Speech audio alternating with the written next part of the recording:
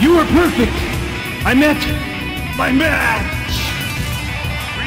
Let's tone up those legs.